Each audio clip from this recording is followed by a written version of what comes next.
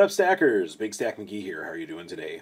It is Saturday, September 18th, and it's a beautiful sunny autumn day, and uh, great opportunity to unbox some silver. You may have noticed that silver spot price has been trending downwards, and so I have been buying.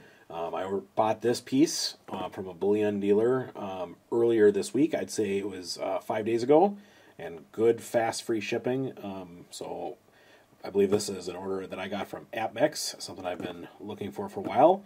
And then, of course, um, just yesterday, silver shot down again, 2250, something like that. And so I bought again, and I got a really nice big piece. I'll tell you more about that uh, later. But first of all, last weekend I did not make a video. I left a poll up online. Um, the whole spiel was uh, once a year uh, my high school buddies and I go up to a cabin up north and uh, reminisce, sit around the campfire, go on the lake, and uh, tell stories and call each other names. And it's just uh, it's just like we're kids again. It's a lot of fun. But anyway, I put a poll up on uh, my community uh, tab there and. Um, just talking about how I'm going to be reminiscing with my old buddies, and I left a poll and it said, "Which of these happened while I was in high school?" Number one, the back door to a bus slammed and severed a kid's finger off. 2% of the people voted for that. Kid has pants and underwear pulled down at a full school assembly. 9% voted for that. Kid fell asleep in study hall, wakes to find everyone had gone home and school is over. 9% voted for that. Kid loses front teeth when mom tows him on skateboard behind car. Nobody voted for that. And then, then I had all of the above, and 80% of you voted for that. And you are correct. All of those things happened uh, to people while I was in high school. None of those things happened to me directly, but uh, uh, just a little bit of an explanation, I guess. Um, I was at a marching band competition back in the day, and uh, all kinds of buses around, and they're waiting for the award ceremony, and uh, people hanging out the back of a bus, and the the bus door slams and severs a kid's finger off. Uh, not from my school, but it happened when I was there, and we saw the commotion. Crazy time. Um, next, kid had his pants and underwear pulled down at full school assembly. Yes, this was my senior year, homecoming. Um, we had it was one of those things where uh, we were having a school auction, like the the student body could auction off for one of the you know popular kids or whatever to carry their books around or do whatever for a day. And one of the kids that were up there, he had been uh, drinking during the school day. Him and his buddies.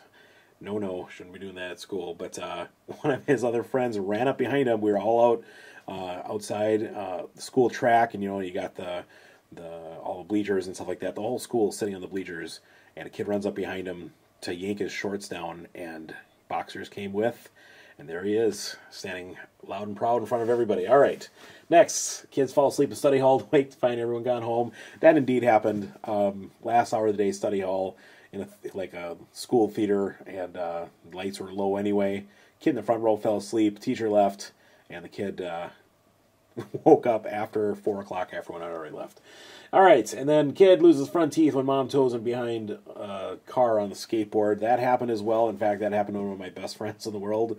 Um, he begged his mom to to try to recreate the scene from uh, Back to the Future. You know where Marty McFly goes behind the jeep, and uh, he slipped and fell and uh, shattered his front teeth.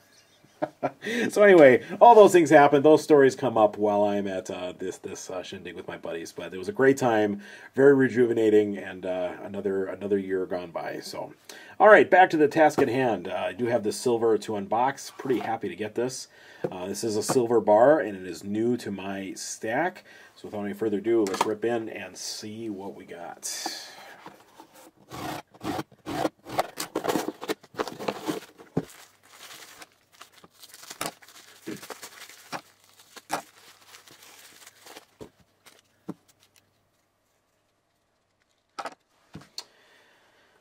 Okay, so what I have here, this is a lot smaller than you'd expect it to be, but I have here a 10 troy ounce silver bar. It's 9 fine mint.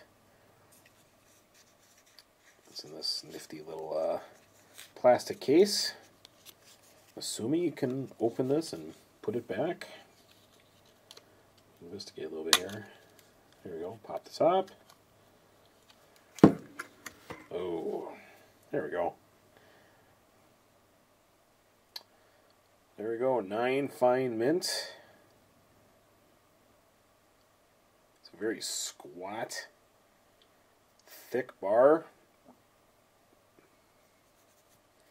Probably cast. It looks like a cast bar to me. There you go, 10 ounces.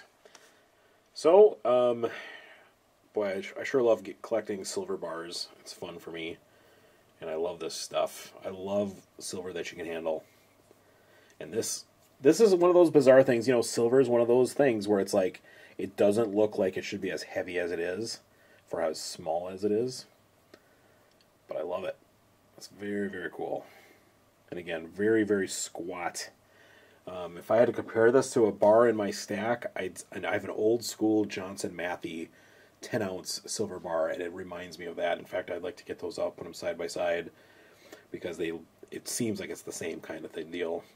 The other one that comes to mind is uh, those old 10 ounce Academy bars that are are also little chunks. They're a little bit taller than this and maybe a little bit less long, but yeah, it reminds me of that too. Very, very shiny, so I dig it. And yeah, so silver spot price has been falling, and uh, so I've been buying more than I have in the previous uh, few months. In fact, uh, last night, so Friday, you know, uh, silver fell to mid twenty-two dollar range, and um, I decided to go on and look for the a cheap kilo silver bar. So I got another one of those coming as well. Now I do shop around at a lot of the different uh, bullion dealers, but I'm going to be honest. I think the bullion dealers shops on eBay are one of my favorite places to go and immediately compare. Um, so you know you go on there, and I went on eBay, and uh, right now kilo silver bars can be had for right around eight hundred dollars which works out to about uh, $25 silver. So um, a couple bucks over spot, and uh, with the, of course, the spot price falling at the current time uh, was made a situation that I wanted to jump on. So, um, in fact, you sort them out from prices low to high and buy it now, and then you see all the different bullion dealers competing to try to get uh, stuff sold. So um, everything from uh, APMEX is on there, and of course Scottsdale and bullion exchanges and SD bullion and everything else. So I ended up picking up a kilo that is a different kind um, that I do not have in my stack, and in fact, it's something that I've wanted for probably as long as I've been stacking, and it's just I've never found one because it's not from the United States, and I ended up finding one that uh, was right at my price point. So I'm excited to get that in. I won't reveal what that is until uh, when I get that in and unbox that. But uh, so there you have it. Silver bars. I don't know. I've just been on. A, I've been hankering for silver bars recently. So, and I know what I've talked to uh, previously that I, I need to do a bar update.